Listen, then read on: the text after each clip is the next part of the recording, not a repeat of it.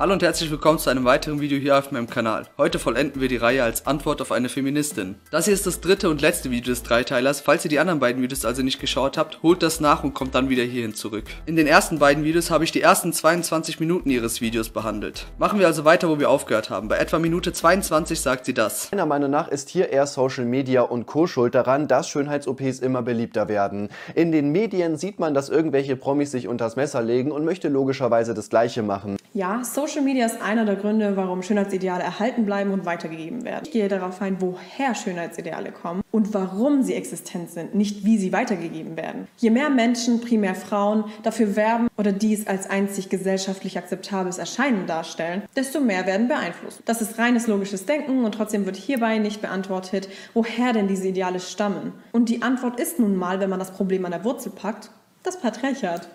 Ich habe es im vorigen Video schon gesagt, aber ich sage es hier nochmal. Du kannst nicht einfach als Antwort auf alles sagen, ja, das Patriarchat sei schuld. Vor allem ohne zu sagen, was das Patriarchat für eine Rolle spielen soll oder was überhaupt der Zweck davon sein soll. Und ja, es gibt Situationen, wo du als Antwort einfach nur einen Fakt nennen kannst, aber sie hat es nicht geschafft, die Existenz des Patriarchats zu beweisen. Auch nicht ihre wissenschaftlichen Quellen, die alle nur auf Meinungsartikel von Feministen verweisen, konnten die Existenz des Patriarchats beweisen. Aber wisst ihr, was lustig ist? Sie erwähnt es ja sogar selbst. Je mehr Menschen, primär Frauen dafür werben oder dies als einzig gesellschaftlich akzeptables Erscheinen darstellen, desto mehr werden beeinflusst. Primär Frauen bewerben diese Schönheitsideale. Also selbst wenn diese Schönheitsideale aus einem früheren Patriarchat stammen, sollte man dann nicht das bekämpfen, was sie heutzutage noch am Leben hält und nicht die längst ausgestorbene Ursache? Dann kritisier doch die Frauen, die diese Schönheitsideale am Leben halten, anstatt die Schuld wieder auf Männer zu schieben. Du schießt wortwörtlich in die Luft und hoffst, dass Dinge sich ändern. Es gibt kein Patriarchat, also kämpfst du gegen nichts als ein selbst erschaffenes Gesellschaftsbild, an dem du Männern die Schuld gibst. Dann gibt KuchenTV angeblich wieder keine alternative Antwort zu ihrer Antwort, es läge am Patriarchat. Davon abgesehen gehe ich davon aus, dass Frauen vor allem aber auch so überrepräsentiert sind,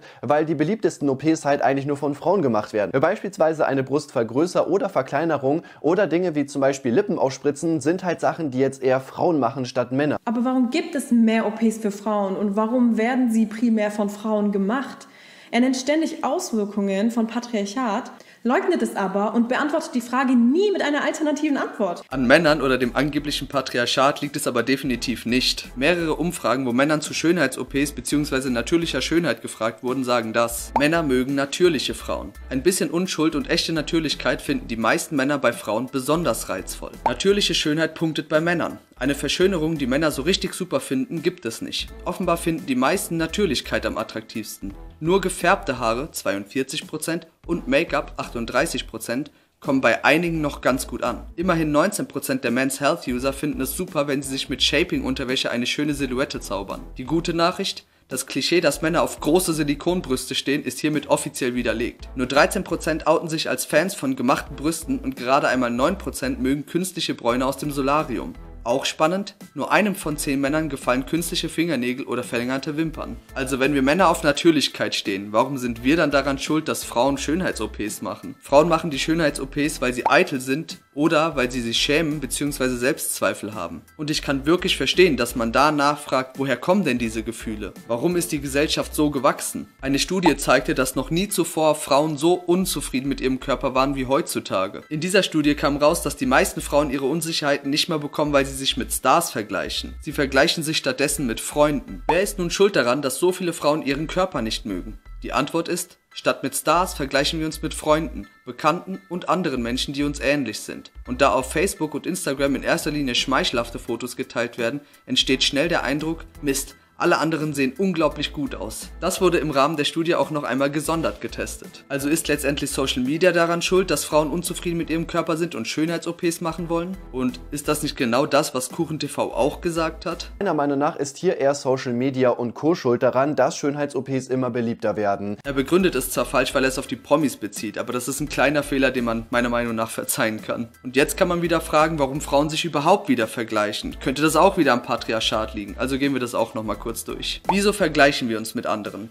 Dass wir uns mit anderen Menschen vergleichen, hat verschiedene Funktionen. Einerseits gibt es uns Informationen darüber, wer wir sind und wo wir in unserem sozialen Umfeld stehen. Was wir gut können, was weniger, wie es uns geht, wie viel wir besitzen. Auch für das Zusammenleben und die Kooperation in Gruppen ist es wichtig. Es zeigt uns zum Beispiel, welche Fähigkeiten wir gut einbringen können oder wie viel Zuspruch wir im Vergleich zu anderen bekommen. Durch soziale Vergleiche lernen wir von anderen. Vergleiche helfen uns mit Herausforderungen umzugehen und unsere eigene Leistung zu verbessern. Indem wir uns mit Menschen vergleichen, die in einer bestimmten Sache etwas besser sind, können wir von ihnen lernen. Ich glaube also, dass das Vergleichen einerseits evolutionär gewachsen ist, damit wir uns weiterentwickeln können. Andererseits klingt es für mich auch so, als ob es an der Leistungsgesellschaft liegt, in der wir leben, nicht an einem Patriarchat. Und komme jetzt nicht damit, dass die Leistungsgesellschaft ein Produkt des Patriarchats sei. Es ist ein Produkt des Kapitalismus. Und komme jetzt auch nicht damit, dass der Kapitalismus ein Produkt des Patriarchats sei. Also Dev, da hast du deine Antwort auf die Frage. Aber warum gibt es mehr OPs für Frauen und warum werden sie primär von Frauen Frauen gemacht. Aber Moment, Dev erklärt ja doch, was das Patriarchat für eine Rolle spielt. Zumindest fängt sie gut und richtig an, aber driftet dann doch wieder dahin ab, zu sagen, das Patriarchat. Okay, hier meint er, dass Schönheitsideale schon immer existiert haben, die aber nicht vom Patriarchat kommen. Aber schon wieder bekommen wir keine Antwort, woher die denn kommen. Dann übernehme ich mal wieder. An verschiedenen Orten der Welt gibt es verschiedene Schönheitsideale. Im Vergleich zu Männern stehen Frauen unter einem weitaus höheren Druck, diesen Idealen zu entsprechen. So wurde dies auch bei einer Umfrage zum Körperwohlbefinden in Deutschland gefunden. Bis hierhin alles richtig. Und die Begründung, warum das so ist? Warum das so ist, weshalb für Männer nicht dieselben Schönheitsideale gelten wie die Frauen, darauf ist die Antwort das Patriarchat. Junge, woher kannst du das denn wissen? Immer wenn sie keine Artikel mehr findet, die ihre Aussagen untermauern, sagt sie einfach nur, dass das Patriarchat daran schuld sei. Zu vielen Aussagen Aussagen blendet sie ja tatsächlich irgendwas ein, nur nicht bei der Aussage, dass das Patriarchat daran schuld sei.